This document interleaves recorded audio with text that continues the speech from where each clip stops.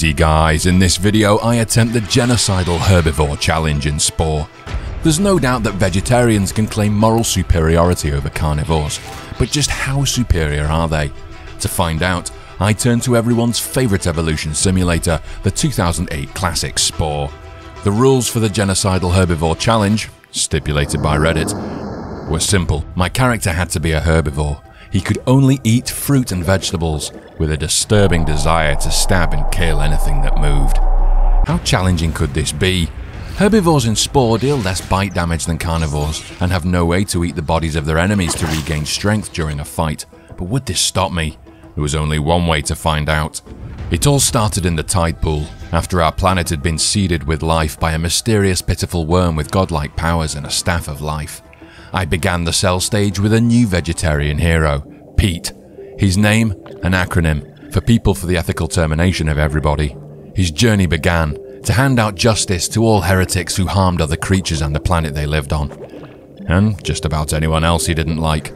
Here lay our first problem. Our vegetarian mouthparts left us unable to attack the other organisms who defied our strict moral code. The solution? Defensive spikes. Defense would truly be the best offense. Terribly cliche, I know. Folklore tells us that it's the motion in the ocean that counts, but it's wrong. Bigger is always better. It's crucial that you can poke someone before they can poke you. With the biggest spike possible on his backside, Pete didn't even have to move. Most carnivores just threw themselves against it. Unfortunately, with only one spike at his disposal, the carnivorous heretics would often find a hole in his defenses. Pete's solution? More spikes. Wrapping his body almost 360 degrees, he was virtually impenetrable.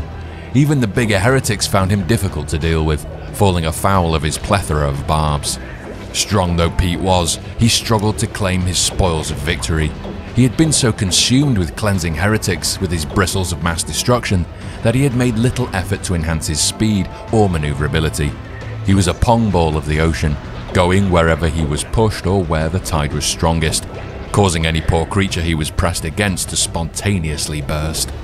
To improve this, he needed some better fins, or a water jet, which meant killing a creature that already had them. But all he could find was this absolute unit. He threw himself into the attack, despite this being one of the strongest cretins in the tide pool. He parried its huge jaws, he had just enough speed to roll into its eye. After the deed was done, some struggling commenced as Pete attempted to seize his prize. At last, he had a jet. Finally, he had the speed he desired, launching himself at his enemies with devastating results. Pete had become a flying spear, a nail bomb of the tide pool, but the horrors these other organisms had committed against their environment, stripping its forest bare and attacking defenseless organisms, demanded the toughest of heroes. If this continued, these heretics would inevitably use up the planet's supply of resources, and all would perish. The hardest choices required the strongest of wills. But if he was to save his planet, he needed to leave the ocean and step out onto land. To his surprise, Pete found a pair of legs under his belly. He beckoned to his fellow kind and scrambled to shore. The same tactics that had served him in the tide pool served him faithfully above water. He charged with incredible speed and used his spikes to impale his enemies. But he lacked raw damage, if he was to prevail in his mission to cleanse the planet of heretics, he needed more to join his cause. After saving the beach from ecological disaster, his species evolved, becoming even more sentient. What would our vegetarians do with this increased realization, perception, or knowledge, you ask? More stabbing. The spiked tail that defended him from behind now took on an offensive role at the front. His mouth parts grew to maximize damage, forcing his eyes to protrude from his head. Pete was here to eat leaves and cause damage, and he was all out of leaves. After evolving, he recruited a fellow member of his species, Greta, to join him on the path of activism. As the pair romped through the countryside, destroying any nest they found, Greta wondered if Pete was misguided. Pete destroyed everything in sight, but what if innocent species like fellow vegetarians were caught up in the slaughter?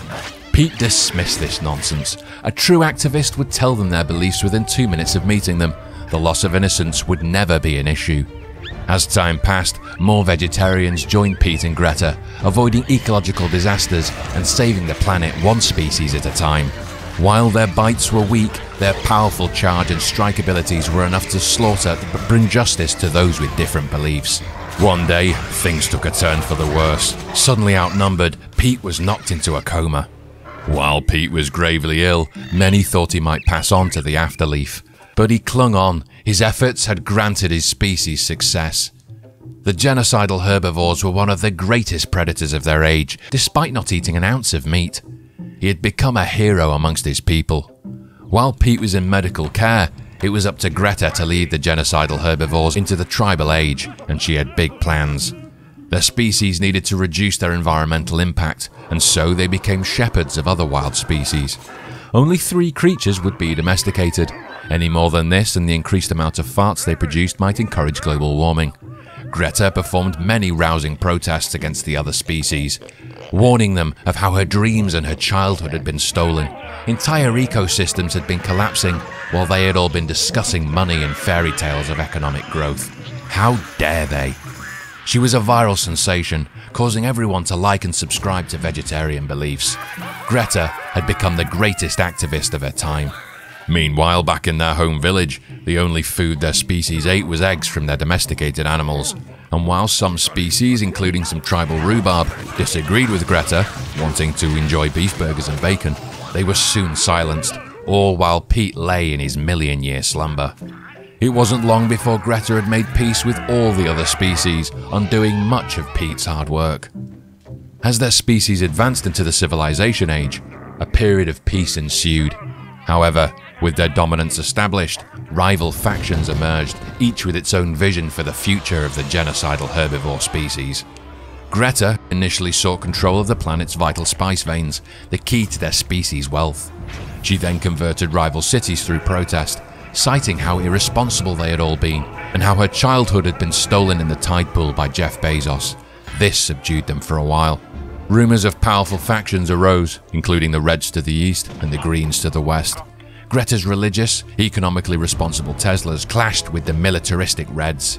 And over time, as she grew into an adolescent, the power of her protests waned. Meanwhile, in the medical city, Peter woke from his 500 million year coma. He found a vastly different world to the one he remembered.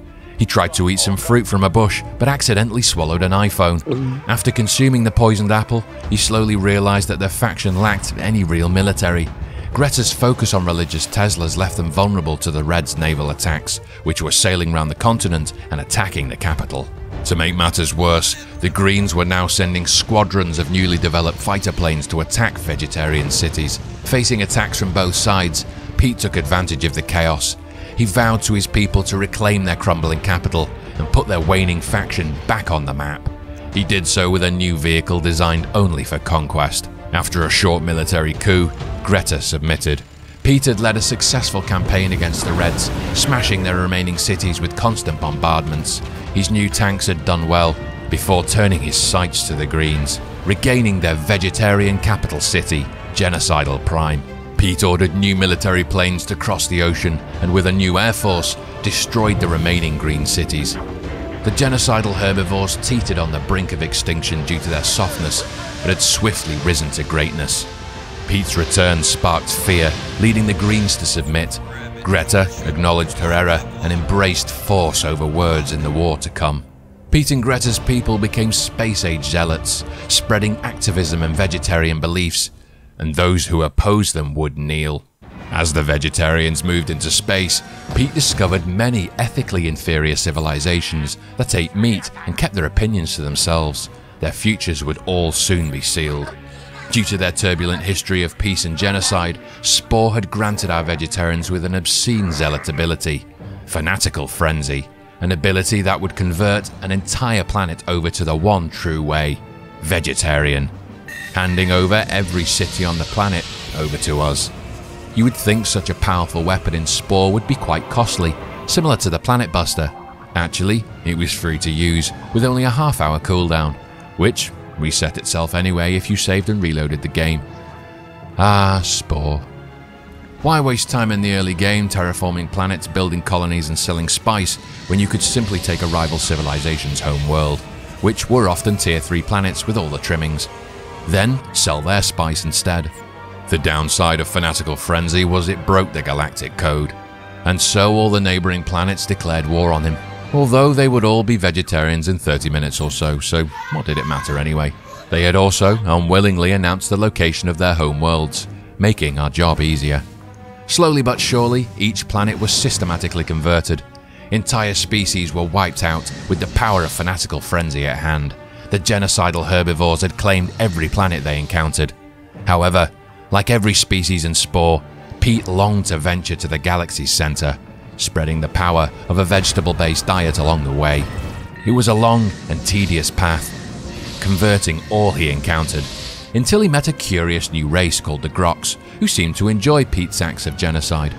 Although they weren't very talkative, a clear sign of guilt, and so Pete spread the love of vegetables once more. The Grox had many, many planets, and the center of the galaxy was infested with them. While the Grox were passive at first, they soon realized there were never many vegetarian options in restaurants, and they missed bacon, eventually objecting to Pete's presence. But Pete was too strong. There should always be more vegetarian options, like house cleaning, dealing with a stubborn bathroom stain. Pete made it his mission to cleanse the galaxy's center of this heresy. Many years passed, each etching deeper lines of solitude upon Pete's weary face. Finally, his work was done. While much of the galaxy remained untamed, he had left his mark, a testament to his unwavering beliefs. As he journeyed towards the galaxy's heart to claim his reward, he pondered the irony. The cost of his allegiance to his vegetarian beliefs had been steep, leaving him devoid of friends or allies. Yet amidst his cosmic sovereignty, he grappled with the paradox of his conquest. In pursuing purity, he had become a harbinger of chaos, presiding over a realm marred by constant eco disasters. Alone, amidst the chaos, he questioned the true nature of his victory. A bittersweet triumph, stained by the realization that in cleansing the galaxy, he had become its scourge. Standing at the threshold of his coveted reward, he wondered if the price of his beliefs had been worth the cost of his humanity.